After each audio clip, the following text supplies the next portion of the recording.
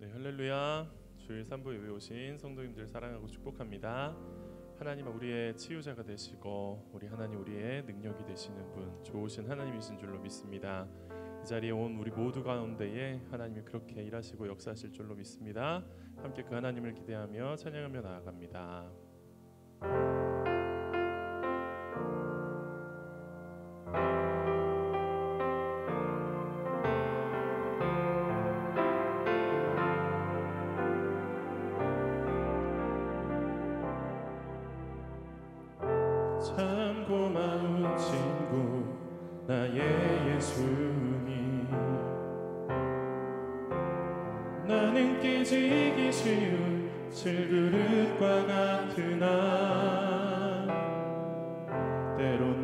낙심해도 포기치 않음은 예수의 생명이 내 안에 있기에